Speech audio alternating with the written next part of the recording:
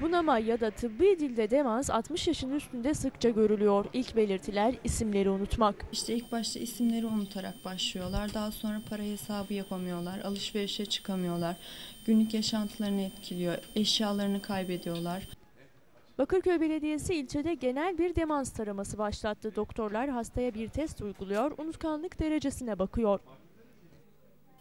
Eskileri çok iyi hatırlıyorum. Yani gençliğimde sizlerin yaşındaki olayları çok iyi hatırlıyorum.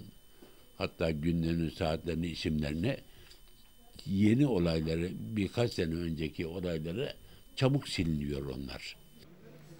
Hayvansal ürünlerde bulunan B12 vitamini eksikliği hastalığın ilerlemesinde önemli bir etken. Erken dönemde tedaviye başlamak hastalığı yavaşlatıyor. Ancak günlük hayatta dikkat edeceğiniz kimi davranışlar sizi bunamaktan koruyabiliyor.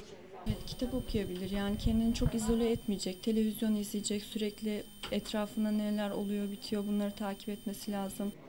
Bakırköy Belediyesi 10 bin kişinin demans taramasından geçmesini hedefliyor.